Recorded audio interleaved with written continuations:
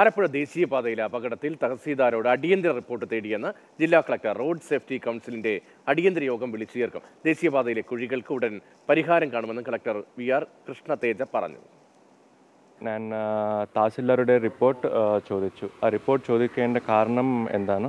First എന്തുകൊണ്ട് ഇങ്ങനെ ഒരു ആക്ഷൻ സംഭവിച്ചു? So that we can avoid such accidents in the future see already ഞാൻ നാഷണൽ ഹൈവേ അതോറിറ്റിനോട് സംസാരിച്ചു. ഓക്കെ. അവർ ഇതിക്ക് വേണ്ടി മുഴുവൻ സപ്പോർട്ട് കൊടുക്കാനാണ് പറഞ്ഞിട്ടുണ്ട്. ഞാൻ നാളെ ഒരു യോഗം സോറി മറ്റന്നാളെ ഒരു യോഗവും വിളിച്ചിട്ടുണ്ട് നേരിട്ട്. ഞാൻ അവനൊരു പ്ലാൻ ഓഫ് ആക്ഷൻ ഏത് സ്ട്രെച്ചിൽ കുഴികൾ എപ്പോഴത്തേക്ക് പൂർത്തിയാകും.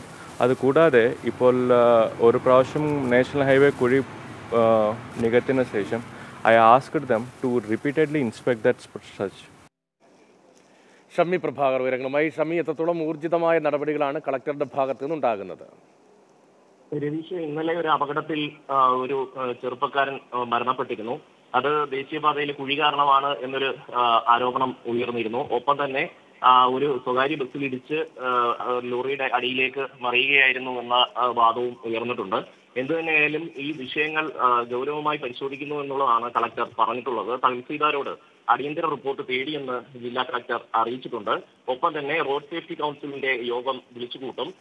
മതിയായ ലൈറ്റ് ഇല്ലാത്തതും അതുപോലെ തന്നെ ട്രാഫിക് മാനേജ്മെന്റിന്റെ അപര്യാപ്തതയും ഈ അപകടത്തിന് കാരണമായി എന്നുള്ള വിലയിരുത്തൽ ജില്ലാ ഭരണകൂടത്തിനുണ്ട്.